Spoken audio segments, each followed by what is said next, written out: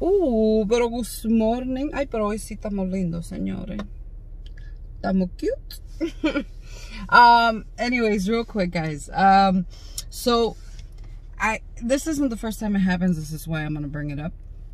I always get um messages, um, you know, like random messages or comments like, oh my god, like what does your man think about this? Or oh your man is you know confident you know that he lets you blah blah blah. And and it always brings me back to like how did we fucking get here? Like how did we get to the point and this is i'm talking about particularly for women how did we get to the point where we ever felt the motherfucking need to ask permission from anybody to do absolutely anything with our body with what we wear with what we say you know what I'm saying? Like like I always say, my loyalty to who I am with has absolutely zero to do with social media. Believe it or not. Believe it or not. That's why I'm a huge believer in, you know, like when people say, oh, social media ruins relationships. No, nigga. Inconsistent, unloyal motherfuckers um, ruin uh, relationships. You think that I don't know that that's going to bring attention to me? Like, you got to understand that whether I'm posting a half naked picture or video or not, niggas are still in my DM. Like, that doesn't stop the fact that I get attention. That's just the type of woman that I am. You know what I'm saying?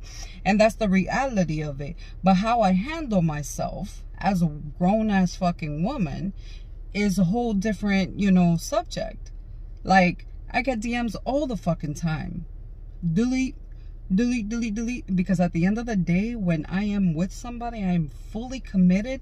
No matter how much I put myself out there, I am fully committed. And it has really nothing to do with my man. But there is nothing, nobody in this fucking planet will ever get me to the point or the to that weak point to be unloyal to anybody that I'm with.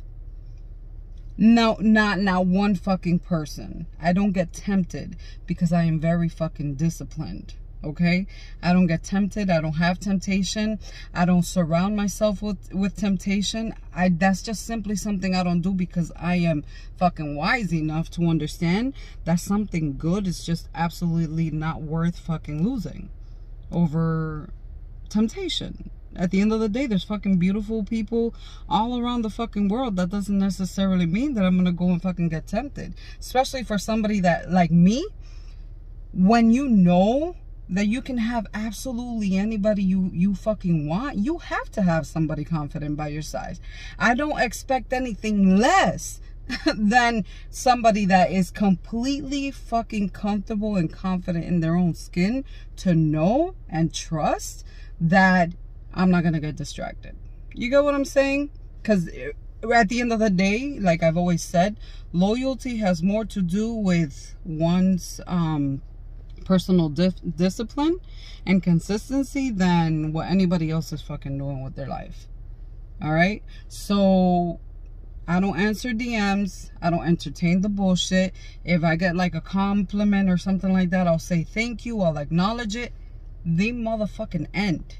So how did we get here to the point where we felt the need to fucking ask for permission from our family, from our partners, from anything to dictate how we act, how we look, what we wear, or all of that? Man, that fuck that just saddens me. That just saddens me because I've seen it. When somebody be like, "Oh no, no, change that," or "What are you wearing?" or you got me so fucked up if you're going to tell me what to wear, honey, or what to say, or what to do, or what to... No, no, no, no, no, no, no, no, no, no. Not here, honey. So if anything, that shit fucking makes me sad. It's It makes me very sad that people would think that I would need to ask for permission. And understand as well that I am one of those that provides be I, think I provide way more reassurance than anything in this fucking world. My man knows that he can ask me for the password to my Instagram at any given moment. I, have I've, I've actually already given it to him, but I know he forgot it. But it, trust me when I tell you, he can ask for it and I can peacefully because there's no there's no amount of fucking peace in the world that you get from fucking being loyal and knowing that you're not doing shit. Baby, here you go. Ask for it at any given moment. I like I, I have absolutely nothing to fucking hide. You know what I mean? Um I can fucking leave my phone. We can change phones all fucking day. Okay? I don't talk to nobody but you guys. you know what I mean? Like it's that's just the way that I am set up as an individual. You know, and that's just the type of services that I provide. Okay?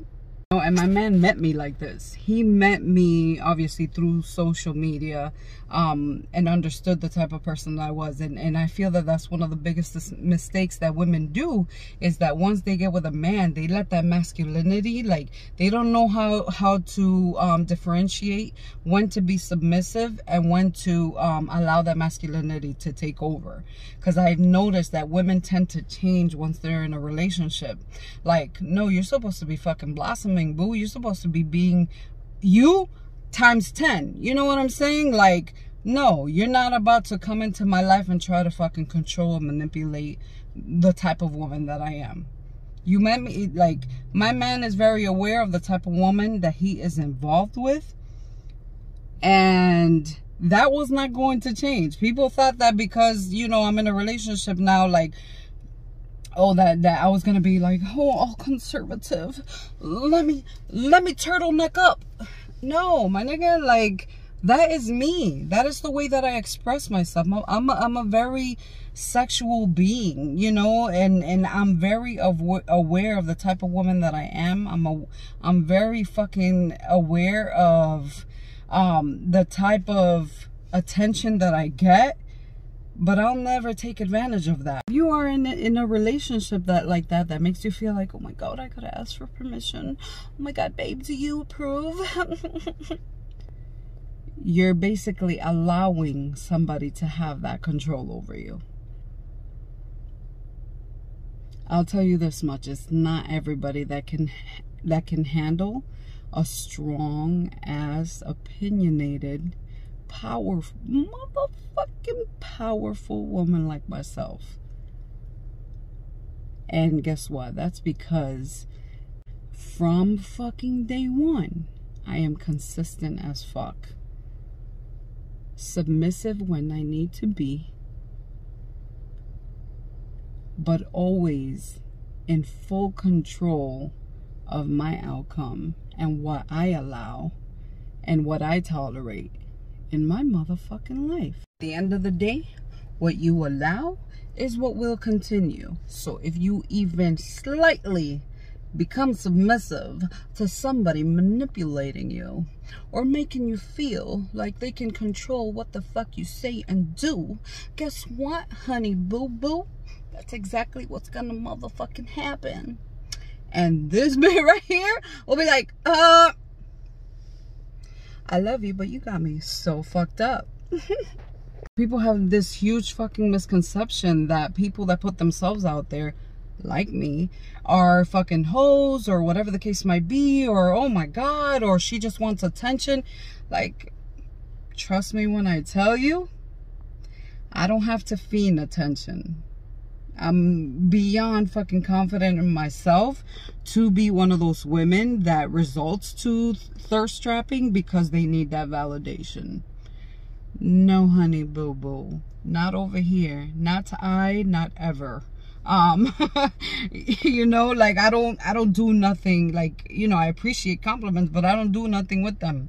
They don't make me fucking, they don't gas me up to the point where I'm like, oh my God, I'm the baddest bitch walking on this earth. Well, I feel like that, but that's just my personal thing, not because of the fucking compliments. Because at the end of the day, whether I have social media or I don't have social media, I will still be that bitch with or without the fucking you know like people people let these fucking numbers get to their head. No i'm still gonna be humble. I'm still gonna be fucking grateful.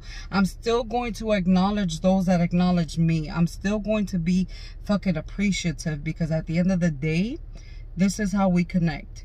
This is how we form the relationships that we can't not actual relationships but you know like the relationships that we can't actually have out there You know what I'm saying? Like I said before, I wouldn't be fucking. I pro- we probably would never fucking meet if it wasn't because of social media. You probably wouldn't know about my presence in your whole life unless we had social media. So don't let all that shit get to you.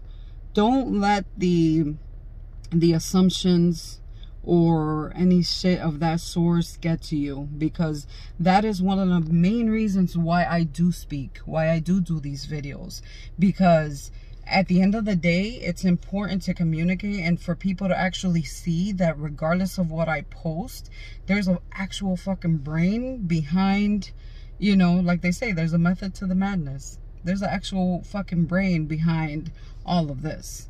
You know, like there is so much more to me than just what I fucking post or, you know, or what you see or what I portray or what I want you to fucking see. Get it? Yo soy la que mando, coño. Have a great day, my loves. Moral of the motherfucking story is I'm not the one. Hope that rubs off, bitch.